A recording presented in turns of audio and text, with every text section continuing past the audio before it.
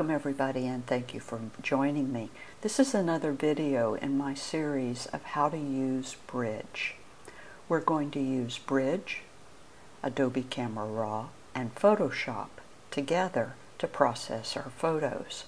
Bridge is your workspace, your workhorse. This is where we're going to do a lot of the work on our photographs and if you learn how to use Bridge, you'll find that a lot of things we need to do to our photographs that are really mundane can be streamlined by using Bridge. First video taught you how to set up your Bridge. Second video was an introduction to Bridge. This video is to show you how to set up your preferences. And so if you would follow along with me, click bridge right up here and it's the same thing as you have if you were working on a PC by the way only it's going to be under file. So for Mac it's you just click on the Adobe Bridge and then come down to camera raw preferences. Click here and when you go to camera raw preferences you'll notice we only have three things that we have to deal with here. The most important is sidecar XMP files. We want to make sure that that is clicked. The option is raw database, but we want your sidecars. What a sidecar is, is when we work on a photo in Photoshop, Bridge, Adobe Camera Raw, when we work on a photo, this applies over in Lightroom as well, the changes to that photo are all kept in a separate file throw that separate file away. It's called an XMP file. And everything you ever did to that photo is gone. So we want to keep everything that we did in an XMP file and it stays right with the raw file in your files. So make sure that this one is set. Apply sharpening if you would like to all of your images or preview images only. Remember you can change this later on if you want to. I don't set any of these default image settings. And the reason that I don't is this just goes in and pre-processes your photo for you. Some people love to do this. Some people don't really want to work on each photo or batches of photos and they'd rather just have some presets. Feel free to check them if you want to, uncheck them, see how you like them.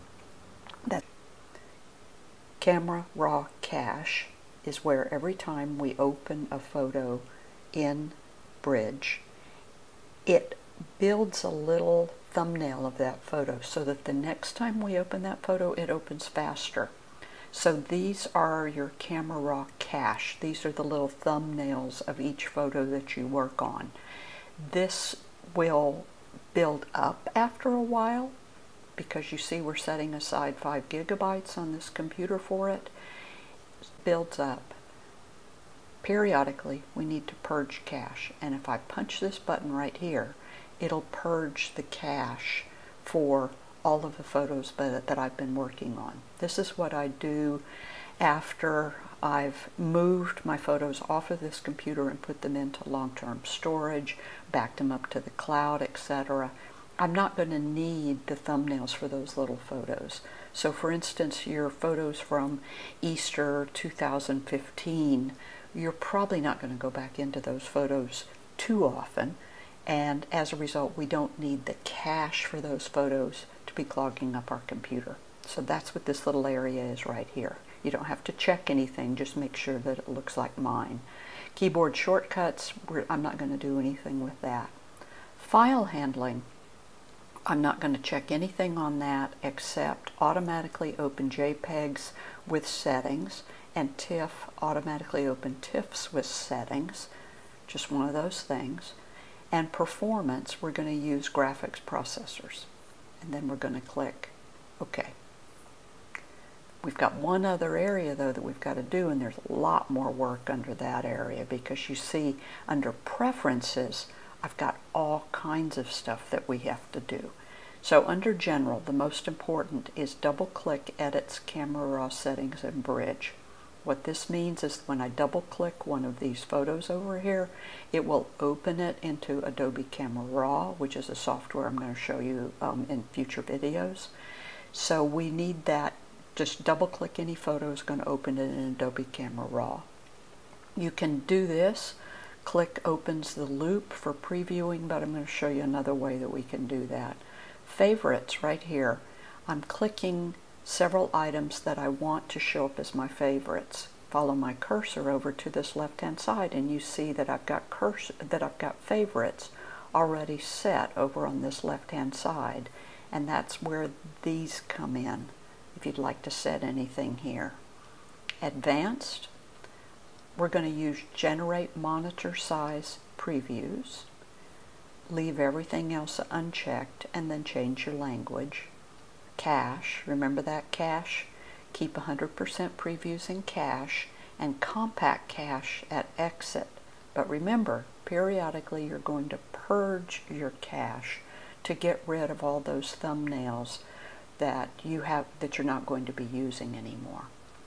Cache management, you can compact your cache right now or you can purge all your local cache, either one just in case you want to ever do those. Don't click either of those now.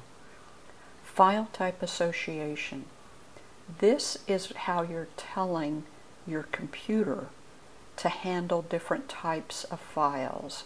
So for instance, I'm a Canon shooter and we have raw files that are CRWs and CR2s. Anytime that my computer sees a CRW or a CR2 and I double click on it, I want it to open in Adobe Photoshop CC 2019. The same thing would hold true if I were shooting in, uh, if I were a, a, Nikon shooter or any of the other cameras that are shooting RAWs. And so this is where you're just telling your computer what software you want to use when you open that. For instance, we've got PDFs opening and those in preview right here.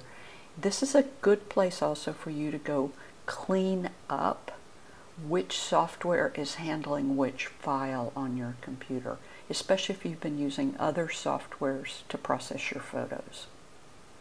Interface, this is what color I want my interface back here on Bridge to be.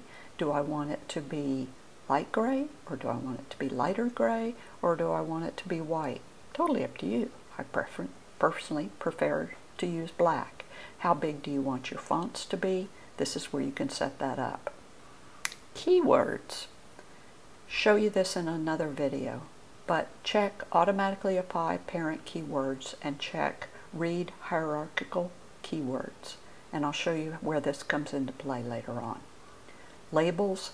This is if you want to use some colored labels. So you can change these around for what you want the colors to be. This is where we color code these images back here media cache, uh, do not delete cache files automatically. So I want to choose whether I delete cache files versus having the computer decide that for me. Metadata. This is a big area and I'll devote one video just to metadata.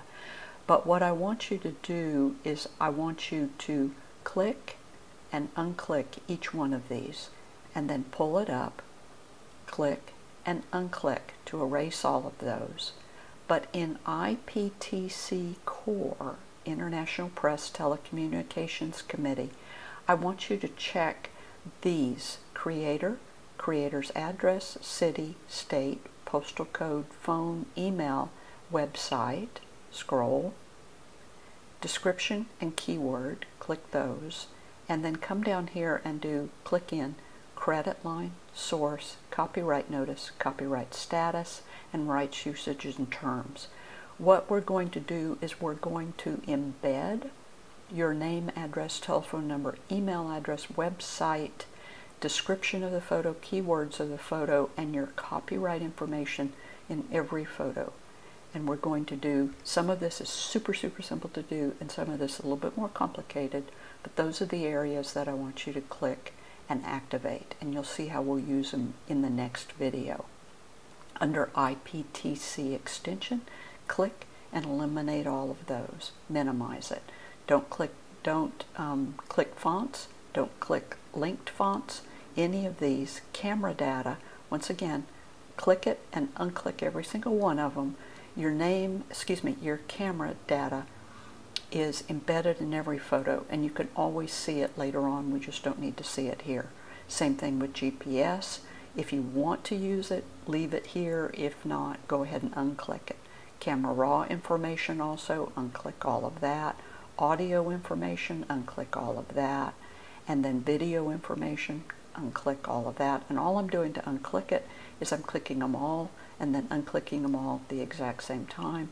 Do the exact same thing for DICOM, and then that should leave us with a clean area in, in metadata except IPTC core. Once again, show you that in the next video.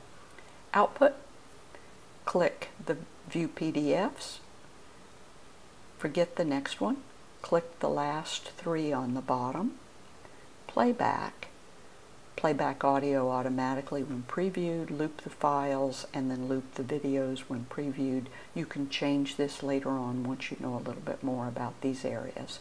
Startup scripts. At startup, I only want to see Bridge and I want to see Photoshop. I don't want to see all these other options that I have. So I've unclicked all the other options and only clicked those two options. Photoshop, uh, excuse me, Adobe Bridge and Adobe Photoshop.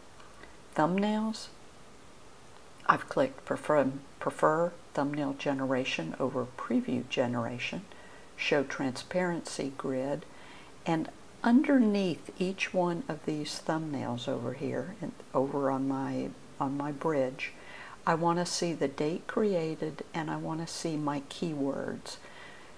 Click those for now and then later on and you just pull down for date created pull down for keywords.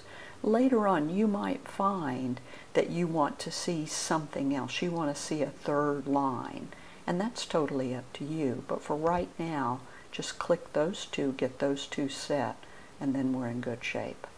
Click OK and now you have set all of your preferences for Adobe Bridge. So your, your preferences, once again, are simply right here under a camera raw preferences. We had three of those that we needed to set. And then the big granddaddy of all the preferences was right here under preferences. Windows users, you're going to file it, find those under file. So now that we've set preferences in our bridge, come back, join me for another video and I'll show you how we set metadata in our photographs and then I'll show you how we rename. So thank you very much for joining me. I'm Kathy Adams Clark and I appreciate your time.